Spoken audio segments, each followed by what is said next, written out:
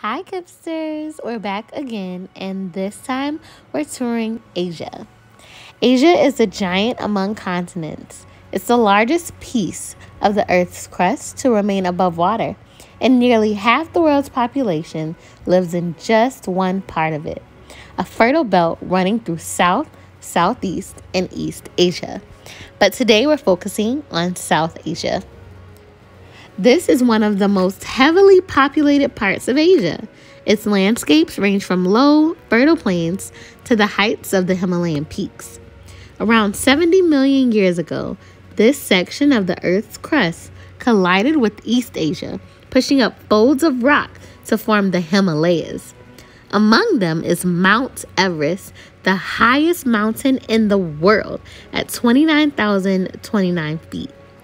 In 1953, Edmund Hillary and Tenzing Norgay made the first successful ascent of Mount Everest. Can you believe they climbed that big mountain? That's so cool. Three quarters of a billion people in this region rely on river water that comes from melting ice and snow in the mountains. India is the largest country in the region and the second most populous country, meaning most people, in the world after China. Southern parts of South Asia have hot summers and monsoon rains, while the Himalayas are snow capped all year round. Pakistan experiences some of the most extreme temperatures on Earth, ranging from 122 degrees Fahrenheit in the south in summer to negative 58 degrees Fahrenheit in the northern mountain ranges in winter. Afghanistan is largely mountainous with just 15% of the land suitable for farming. At the mouth of the Brahmaputra and Ganges rivers in Bangladesh, where the soil and climate are so favorable for agriculture that farmers often harvest three crops a year.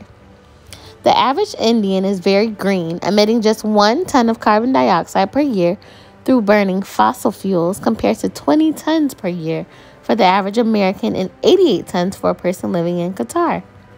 This region is home to many rare species, among them the Bengal tiger, the Asiatic lion, the snow leopard, the one horned rhinoceros, and the Indian elephant. The Indian elephant is a subspecies of the Asian elephant and is the largest land animal in Asia. Did you know Varanasi, suited on the banks of the Ganges River, is regarded as a holy city by Hindus. Over a million pilgrims visit the city each year to bathe in the waters. The Taj Mahal was built in the 17th century at the order of Shah Jahan in memory of his wife. The automobile industry in India is one of the largest and fastest growing in the world exporting around 1.5 million vehicles each year. The auto rickshaw, also known as a tuk tuk, is a popular form of transport in South Asia. It is a motorized version of the traditional human powered rickshaw.